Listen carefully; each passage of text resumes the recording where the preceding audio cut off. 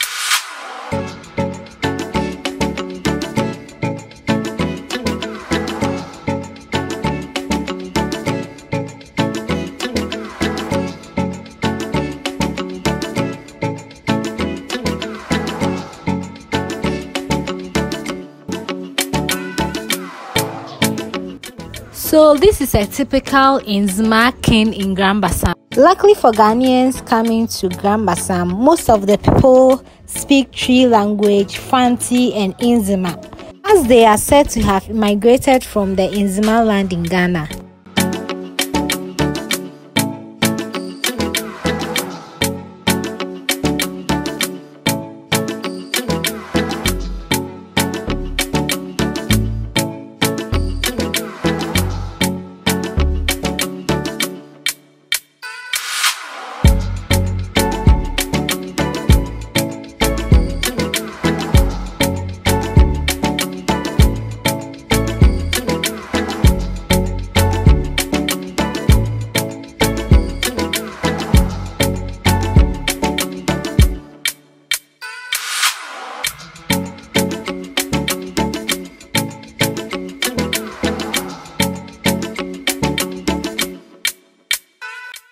I also visited the La Maison Ganamet, which is also one of the old buildings. The interesting part about this building is how the trees grow inside the house, and not only that, but stays fresh throughout the year.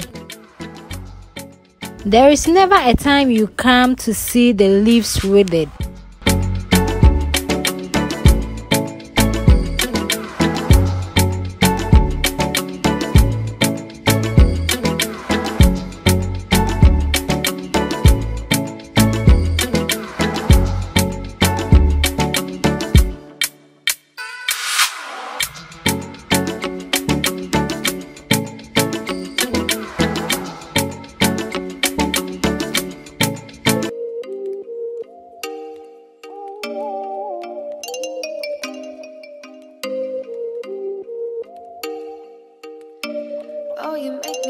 talk back, talk back to you. Say it, say it like that. If I hate you, then find someone new, baby. But you.